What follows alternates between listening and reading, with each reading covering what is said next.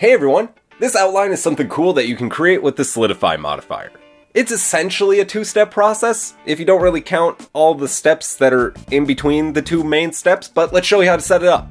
I've got the Restless Armor model from Dragon Quest XI here as an example, which I got from the model's resource, link in the description. Since we're not going for photorealism, we're going to be using Eevee as the render engine. First step, add the outline material to your object. In the Material tab, click this plus sign to add a new material slot then click New here. If you plan on only having one material for your outline, it doesn't matter how many materials are on your object already. Just make sure you have it in the last material slot. If you're going to use multiple outline materials, make sure to have the outline materials immediately under the material it's going to be outlining in the list. That might sound a little confusing. I'll set up like a little, put a little thing on screen. Do this. And outlines can also be textured. If you want to do something crazy or have the outline have the same type of shading or, you know, whatever, Alright, switch the material type over to emission and change the color to whatever you want the outline to be. I'm going to use black. Make sure you're selected on the outline material and enable backface culling in the settings dropdown. Now we're on to what I'm calling step 2, setting up the solidify modifier. In the modifier tab, click add modifier and find a solidify modifier.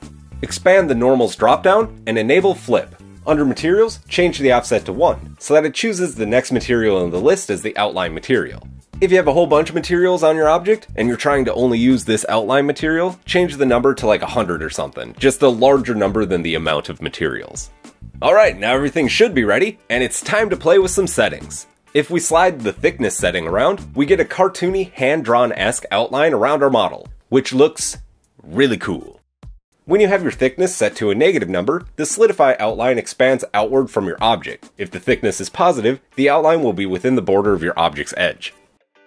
If we switch over to wireframe view, you can see that we're actually adding a copy of our object to create this outline. So there we have it. It's a very simple thing to set up. One thing to keep in mind is since we're adjusting the borders of our shapes, you may have to adjust how you model your characters slightly, in order to accommodate the solidify outlines and have everything look how you want. Also, if you have your lines too thick, everything starts to look bad, so outline within reason. Thank you for watching. Hope you found this useful. Please like and subscribe.